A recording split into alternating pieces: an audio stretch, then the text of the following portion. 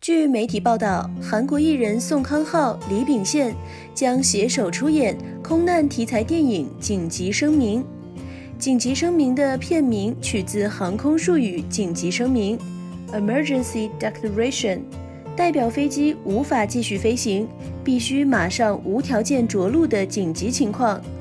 这部《紧急声明》已确定由宋康昊与李秉宪携手出演。已开始了开拍前的准备工作，宋康昊与李秉宪已经三度携手。非凡娱乐实时报道。